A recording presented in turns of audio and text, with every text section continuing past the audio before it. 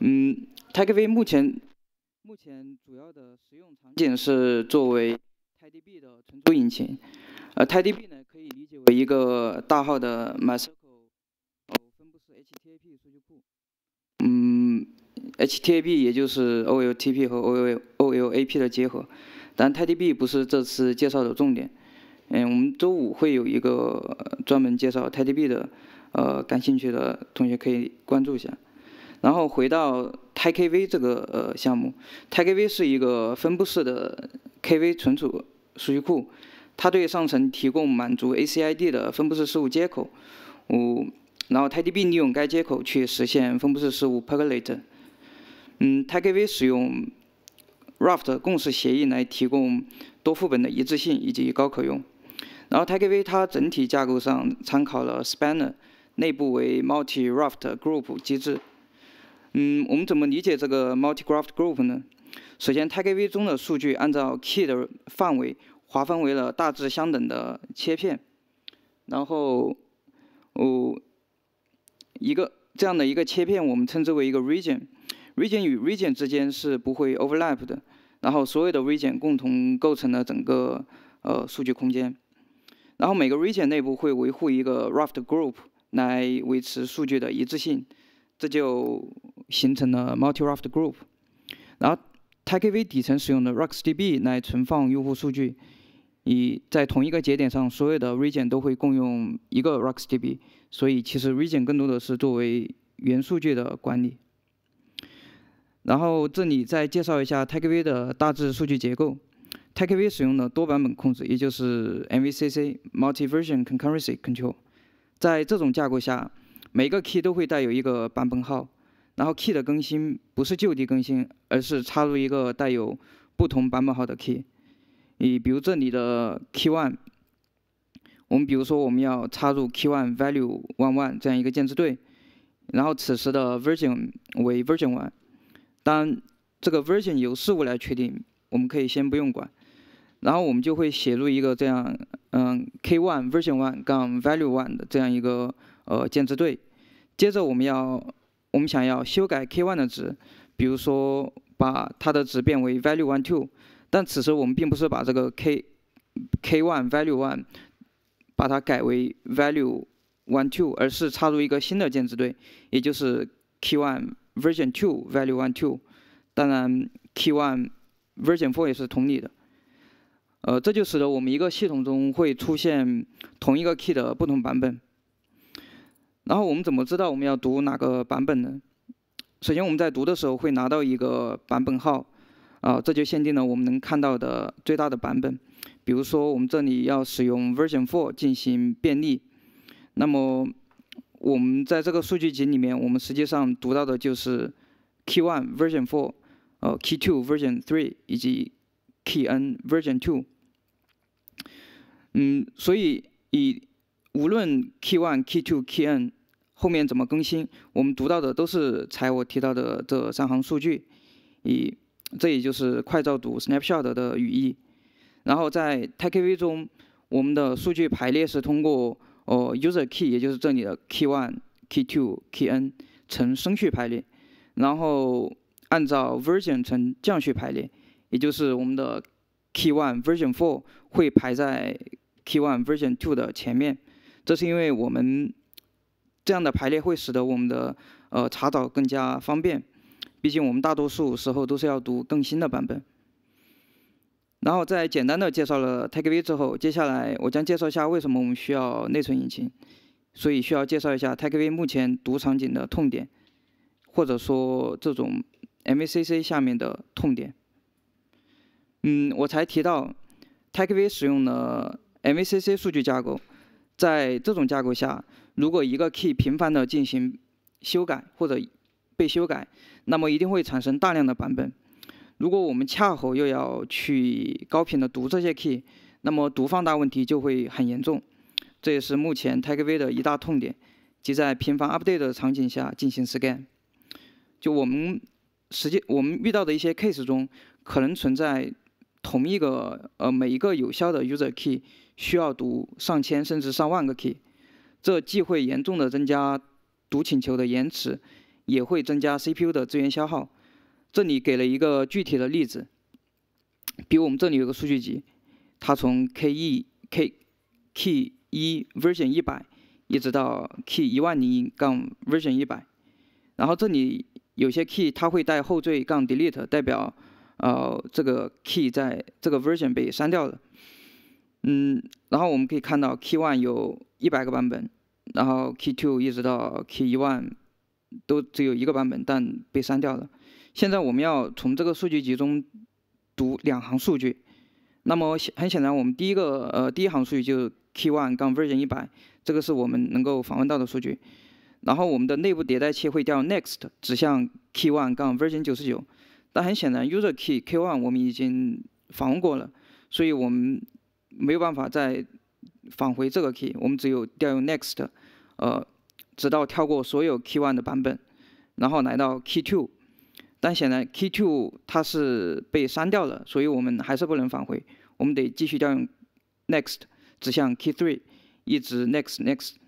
直到我们 next 到 key 一万零一杠 version 一百，然后我们最终返回 key 一 version 一百以及 key 一万零一杠 version 一百。所以我们可以看到，我们读了两行数据，但实际上我们读了一万多行，这个读放大是非常严重的。然后更细致一点的话，我们这里可以看到我们跳过了很多 key，那么这里跳过的有两种类型，一种是同一个 user key 的不同版本，也就是 key one 的其他那九十九个版本；另一种是那些被删掉的版本，也就是这里的 key two、key three，也叫 key。一万，那么我们实际上是有办法去优化第一种场景的，就是我们通过 user key 加上 version 零，对它进行 seek，就可以跳过它的所有版本。为什么呢？因为前面提到我们的 version 是降序排列的，那么 version 零一定排在这个 user key 的最后一个。那么比如我们重复 next 了，比如几次之后，比如八次、九次之后，我们发现还是这个 user key。那我们就可以直接通过这个 user key 加上一个呃 version 零来 seek 它的所有版本，但很显然这种方法没有办法去跳过 key two key three 这种，因为我们并不知道下一个有效的 user key 到底是什么。嗯，然后这里列了一个监控，这是真实集群下面嗯冗余版本比较多的情况。然后这里的黄色代表的是 next 的次数，也就是我们内部迭代器调 next 的次数。然后这里的呃还有一个叫 processed key，就代表我们所访问到的一个有效的 user key，比如前面的 key one 杠 version 一百，以及 key 一万零一杠 version 一百。然后可以看到这里以黄色的呃除以这个 next 除以 processed key，以有接近两百的这样一个比例，以所以这可以衡量当前这个负载的读放大是很严重的。那么目前 TigerV 系统对这种场景是不是有一些缓解的办法呢？呃，答案是我们会做 garbage collection。TigerV 的 garbage collection 有两种策略，一种是 RocksDB 的 compaction filter。嗯，在 RocksDB 做 compaction 的时候，会提供这样一个接口，就 com compaction filter 接口，使得我们可以对 compaction 中的 input key 进行一些额外的处理。这使得我们可以以对这些 input 文件进行一些版本上的清理，从而清理掉那种过期的多余的版本。嗯，但这里并不是所有版本都可以被清理，比如说那些正在被已读到的 key，或者有一些未提交的事物所涉及到的 key，所以我们会有一个概念叫 save point 来进行这样的限制，也就是说。在 compaction filter 的清理逻辑中，我们首先会跳过那些版本号大于 save point 的 key，然后再进行相应的 key 的清理逻辑判断。然后 TigerV 的另一种 garbage collection 的策略就是主动的、周期性的对所有的 region，也就所有的 key 进行扫描判断，看是不是能够被清理掉，也就是这里提到的 periodic GC。所以可以看到，第一种策略是被动的。由 compaction 来触发的，第二种是主动的、周期性的。呃，默认情况下，TagV 使用的是第一种 compaction fit。那为什么还会存在多版本问题呢？首先，我前面提到，safe point 会作为我们 key 是否能够被过滤的一个基本前提，而 safe point 的更新周期是可以配置的，也就是说，呃，客户可以去配置，默认情况下是十分钟，并且也是最小的值，但有的客户可能会设置一个小时，呃，一天甚至一周。那么，如果客户设置的周期比较长，嗯，而且它又存在大量的 update，那么在一个相当长的周期里面会积攒。嗯，很多 key 会积攒非常非常多的版本，而因为 save point 又没有办法进行更新，所以那些版本都没有办法被清理掉。而且，呃，在 GC 的过程中，嗯，或者熟悉 LSM 确的呃人可能会清楚，就是一个 key 的删除，很多时候是通过打上 tomstone 这样一个标记，逻辑上的对它进行删除的。也就是说，从逻辑上来讲，它们不可见的，但实际上这些 key 都还在。以存储里面，它们还是会被读到，啊，所以也会影响我们的这个读性能。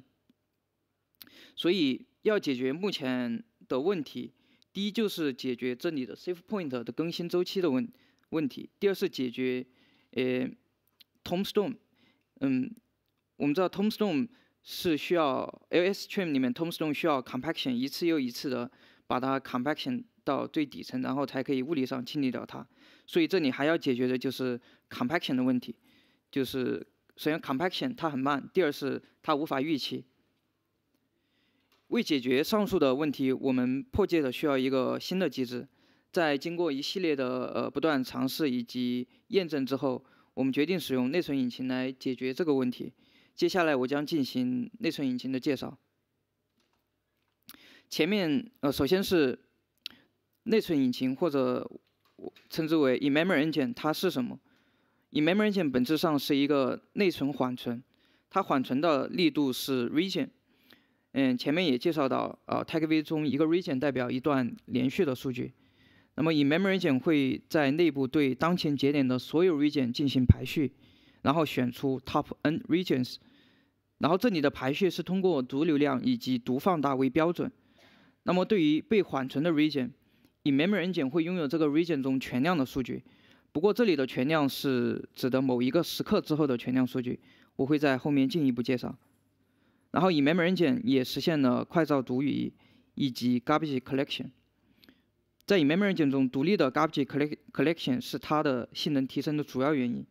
因为以 Memory engine 的 garbage collection 不会受到 TAGV 其他模块的影响，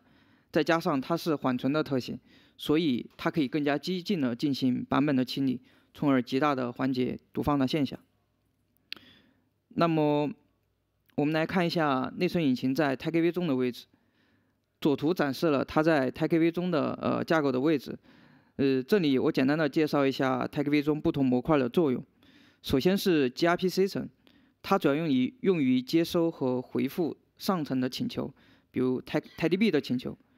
然后，当 gRPC 层收到啊上层的这个请求之后，比如我们有一个写请求，它将把这个写请求交给 transaction 进行处理。这里的 transaction 就是前面提到的呃分布式事务模型 percolator。percolator 又分为 prewrite 和 commit，所以这里会根据以写请求的类型交给，然后使得 transaction 根据相应的逻检查逻辑和处理逻辑以。然后 transaction 层可以可能会把这个写请求转换为以一个键值对 KV 的这样一个协助请求，然后又把它传给下层 Raft Store。这里的 Raft Store 实现了呃 Raft 状态机，它会将这个协助请求封装成 Raft Command，然后进行 Raft 算法啊，也就是这里写到的 Propose、Replicate、Commit 以及 Apply。然后这里的呃，raft command 会被持久化到啊左下角的这个 raft N 点里面。嗯，当 raft command 它被 commit 以后，它就会被 apply 到啊右下角的这个 RocksDB 里面，也就是用户数据。当然，我们这里以既然要使用到内存引擎，所以为了尽可能的呃减少内存引擎对于 raft store 的侵入，我们这里引入了一个呃叫 hybrid engine 这样一个东西。它对 RocksDB 和 in-memory engine 进行了封装，然后 RocksDB 原本是通过实现 KV engine 这样一个接口来对 Raft Store 提供存储服务，而这里我们就使用 Hybrid 按键来实现这样一个 KV 按键，从而替代原本 RocksDB 的位置。然后 eMemory 按键中会有一些重要的模块，嗯，我这里也会介绍一下。啊，比如我们首先能够看到的是 Skip List，嗯，eMemory 按键使用了 Skip List 作为存储哦引擎，因为 Skip List 能够进行快速的插入、删找和呃查找。然后是 Region Manager，嗯，因为 eMemory 键是 Region 的缓存。所以需要对 region 进行一些管理，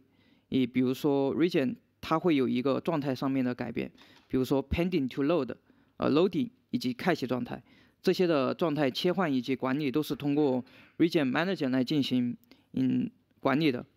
然后 region manager 还会去判断某一个读请求是不是能够使用 in-memory region 去进行处理。接下来是 auto load evect manager。这个模块，这个 manager 它主要就决定哪些 region 应该被载入到 inmemory 里面，以及哪些 region 是应该被驱逐出去的。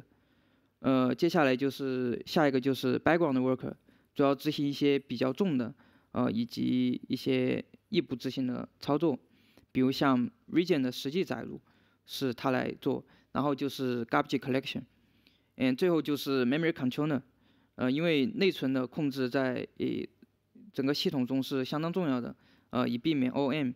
所以会使用一个独立专门的 memory controller 来对 memory engine 进行内存上面的记录，哦，并且当内存使用达到某一个阈值之后，做出一定的反应。嗯，前面说了那么多，那么 memory engine 到底是如何解决之前提到的冗余版本问题呢？回顾一下我们之前提到的 garbage collection 的缺点，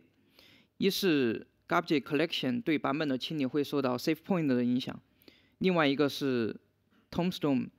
另外一个是 compaction 的不确定性，以及产以及删除产生的大量 tombstone 需要若干次的 compaction 来进行最终的清理。那么对于第一点，由于 in-memory 按键是缓存，所以它不需要一直存储所有的数据。那么，eMemory 按键就可以使用独立于 TiKV 的 Save Point，这意味着我们可以更加激进的来设置这个 Save Point 的更新周期，从而进行快速的 MVCC 版本的清理。比如前面，比比如 TiKV 的 Save Point 被客户设置为了呃一天，那么这意味着至少最近一天的数据是没有办法进行版本清理的。但我们可以在 eMemory 按键中设置，比如三分钟、两分钟都可以。那么只是把这个呃无法清理的时间限制到了两分钟或者三分钟。然后，eMemory 按键中每个 region 都会维护自己的 save point，呃，并且定期的去更新这个 save point，然后使用嗯该 save point 来进行 MACC 版本的清理。另外一个呃点就是 eMemory 按键使用的是 skip list，所以在 GC 的时候，我们就可以直接就地的删除。需要删除的数据，这完全就避免了呃 compaction 的各种缺陷。不过这里有个问题，就是如果我们需要读到的 key 在 eMemory engine 中被删掉了，那该怎么办？首先，TiKV 的读请求会携带一个叫 readTs 这样一个呃时间戳概念，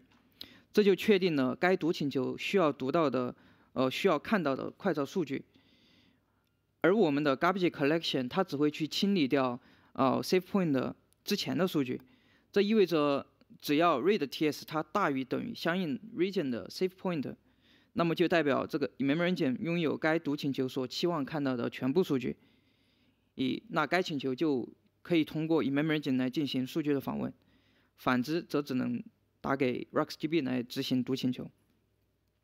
而由于绝大多数情况，我们总是需要读最近的或者比较新的版本。所以，一旦 region 被缓存，那我们有极大的概率能够执行该读请求。接下来，我将介绍一下啊内存引擎的一些实现细节。这里放了两个链接，分别是 eMemory 按键的 RFC，介绍了整个项目的设计细节；诶，另一个是项目的 tracking issue，记录了整个项目的迭代过程。呃，有兴有兴趣的同学可以去看一下。啊，另外由于时间关系没有办法介绍项目的每个细节，所以这里着重介绍一下啊，eMemory Engine 的读写、驱入、驱逐和载入流程。首先介绍读读流程，读流程比较简单，基本就是判断缓存是否命中。首先 Tag V 接受的读请求都是经过了 region 划分的，所以一个读请求只会读一个 region 中的数据。那么我们首先就是判断这个 region 是否在 in-memory region 中被缓存了，然后判断该读请求所携带的 readTs 是否大于 in-memory region 中该 region 的 save point。通过检查即可使用 in-memory region 来进行读操作。然后就是写写写流程，写流程会复杂很多。呃，这里的重点是全量写和原子可见性。全量写很好好理很好理解，就是写到 RocksDB 的数据也得写一份到 InMemory 件中。当然，只是针对那些被缓存的数据，缓缓存的 region。另一个点就是原子可见性。是为了保证数据并发访问的一致性。那么我们假设，如果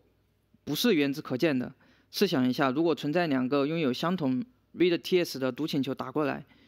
那么一个通过 RuxDB 进行访问，一个通过 eMemory 进行访问，那么由于不是原子的，所以他们可能看到的数据就不一致，这就破坏了数据的一致性。那这里是怎么确保哦原子性的呢？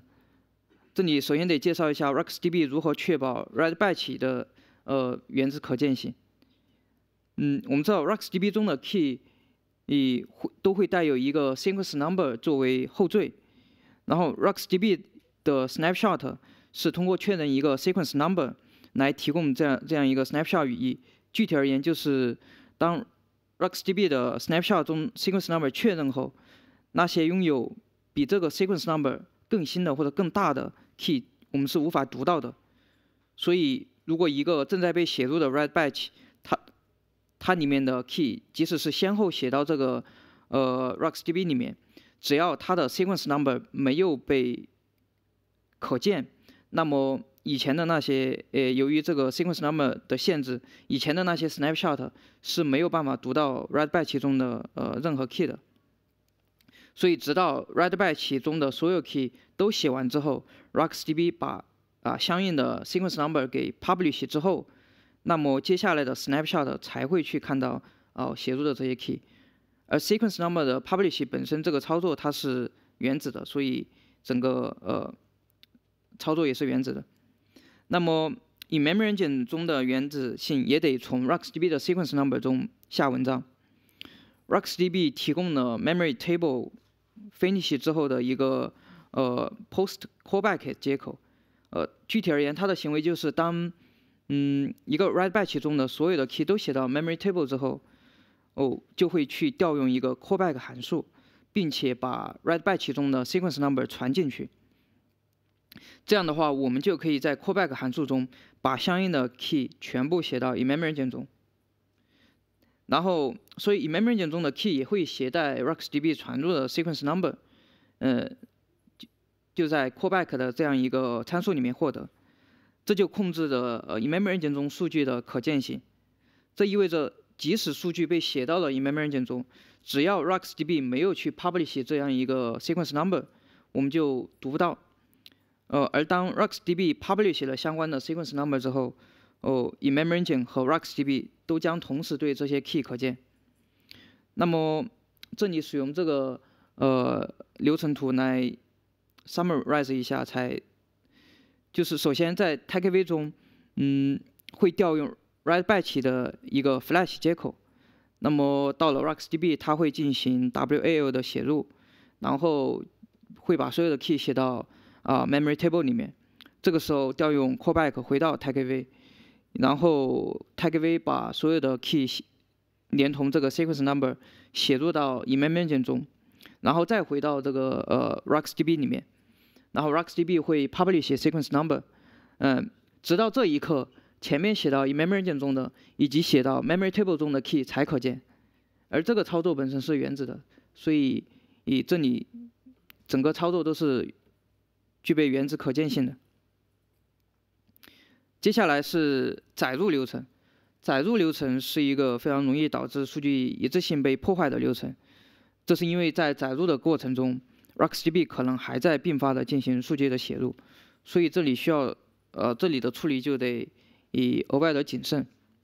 前面提到 TigerV 的每个 region 代表的一个 Raft Group 状态机，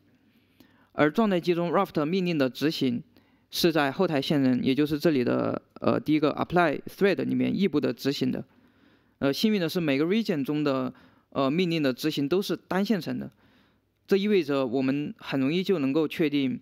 哪些数据已经被写入，以及哪些数据即将被写入。我们通过拿到一个 RocksDB 的 snapshot 就能够获取已经被写入的数据，然后对于那些即将要写入的数据，我们就把它给缓存起来，然后等到前面拿到的 snapshot 被 in-memory 件消化掉之后，我们再把那些缓存起来的数据写到 in-memory 件中。从上面的流程我们可以看到，啊，每个 region 在执行命令之前都会调用一个 prepare for region 这样一个呃函数来做一些 startup 的工作。这里会判断当前 region 是不是处于 pending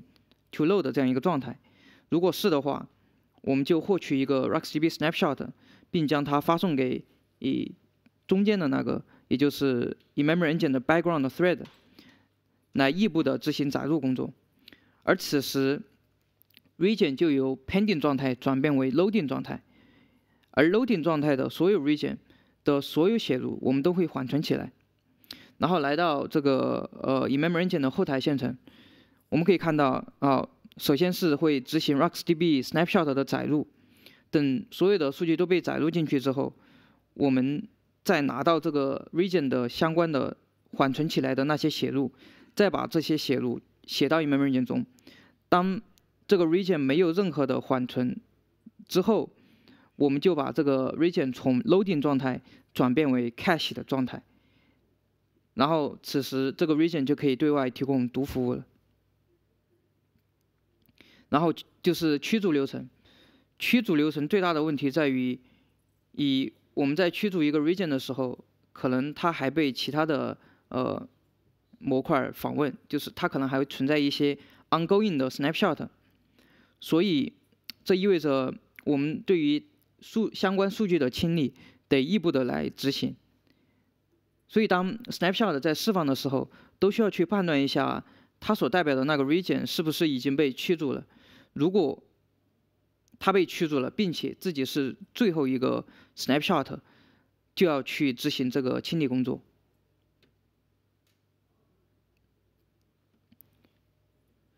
然后就是 in-memory engine 的 benchmark 结果。这里我进行了呃两组测试结果的对比。然后这一页是第一组，在第一组测试中，save point 的更新周期被设置为了一天。然后第二组，也就是下一页，被设置设置的是默认的十分钟。当然，两组测试是在不同时刻呃进行的，而且集集群的配置和参数也会有一些差异，所以这两组测试彼此之间是不能对比的。然后每组测试会做开启 memory engine 以及没有开启 memory engine 的这样一个对比。然后在这一组的测试中，我们使用了五十个 warehouse 进行测试。呃，少量的 w 在 TPCC 测试中，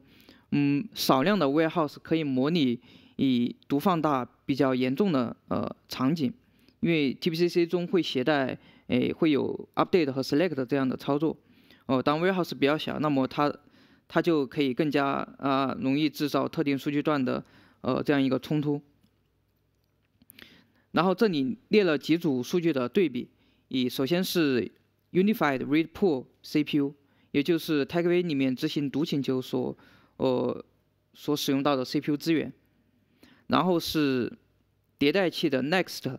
和 Processed Keys 这两个值的对比可以反映读放大的程度，然后就是一些延迟相关的指标，比如 Average 以 P99、P999，但这里还列了 P80。这是因为 in-memory engine 它缓存的只是部部分的数据，或者说小部分的数据，所以很可能这些数据读性能的改善不会反映到 P99 或者 P999 那里去。然后这里的绿色背景代表的是开启了 in-memory engine。我们可以看到，在这组测试中，测试的对比是非常明显的。CPU 使用量从二百六十七降到了八十六，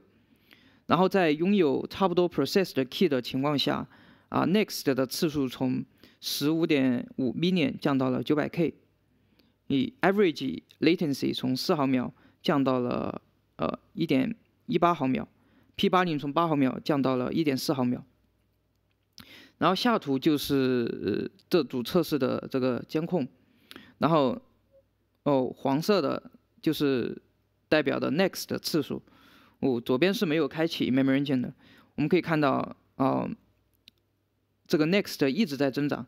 但实际上嗯 QPS 是没有变化的，嗯，所以可以看到啊就是因为有越来越多的冗余版本需要去过滤掉。所以它的 next 一直在成长，啊一一直在增长，嗯，这是因为我们设置了，首先这个测试只进行了十个小时，然后我们的整个呃 safe point 的更新周期为一天，这意味着整个测试的呃呃周期里面，哎由于 safe point 的限制，它所有的版本都没有办法经过 garbage collection collection 来进行清理，而在实际的呃用户场景里面，嗯 safe 的 safe point 更新周期设置为一天也是能够。哦，常见到的。然后第二组测试就是做了呃没有进行 safe point 更新的呃就是使用的默认的 safe point 更新周期的这样一个对比。以第一组是还是五十个 warehouse，呃第二组是一千个 warehouse。我们可以看到在五十个 warehouse 的情况下啊，也就是前两行它的提升依旧是明显的，CPU 从百分之二百八降到了百分之二百三。然后 average 从一点八毫秒降到了一点三毫秒，P 八 P 八零从一点从二点九毫秒降到了一点五毫秒。然后是一千 warehouse 的情况，嗯，这个提升就没有五十个 warehouse 那么大，这是因为当 warehouse 比较多的时候，数据量比较大，啊 update 制造冗余版本的速率会变得很慢，嗯，这意味着读放大问题在这种情况下并不严重，所以 memory engine 的优化空间或者针对这种冗余版本。提升的这种优化空间就会比较小。呃，当然，TPCC 其实并不是我们遇到呃读放大最严重的 case，以只是我们内部在进行项目迭代的时候，通过 TPCC 来模拟会比较方便。而有一些 case 会比 TPCC 读放大要严重非常多。我们内部也在进行相应场景的复刻，后续也会进行进一步的测试对比。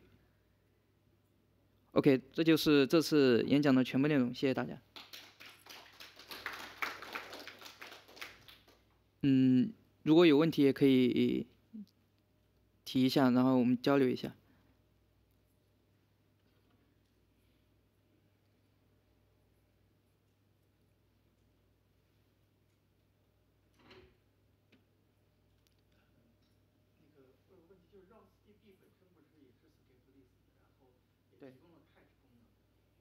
嗯，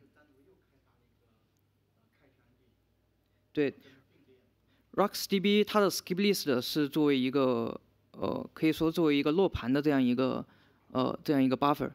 嗯，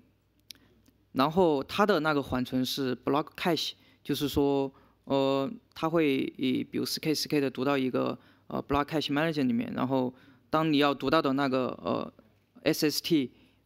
中的 block 在这个 Manager 里面，那么你就可以直接进行防存，而不用去 SST 里面去读磁盘。嗯，它这里所呃涉及到的优化，都是对于以内存相内存相对于磁盘的优化。而这里涉及到的问题是，它有非常多的冗余版本，就是说，呃，由于频繁的 update，比如说 K 一，它被以 update 了一万次，那它就有一万个版本。嗯，这种情况下，啊，我们所要针，我们要优化的是怎么把这一万个版一万个版本变成一个版本或者十个版本，而不是说我们要去运用内存相比于磁盘的呃优势。所以我们的呃 key 写到 RocksDB 里面，即使呃它有那些内存相比于磁盘的优化，但是那些那些一万个版本都还在那里。以然后再加上我前面说到的 save point 呀。啊需要一次次 compaction 呢？啊，这种极大的限制了这一万个版本清理的速率，也，所以这个呃 feature 主要是解决这个呃多版本问题的。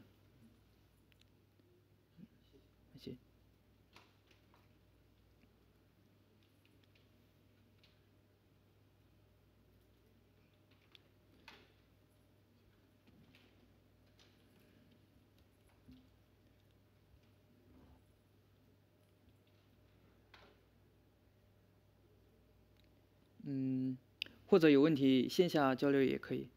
我就先，还是多嗯感谢大家的时间。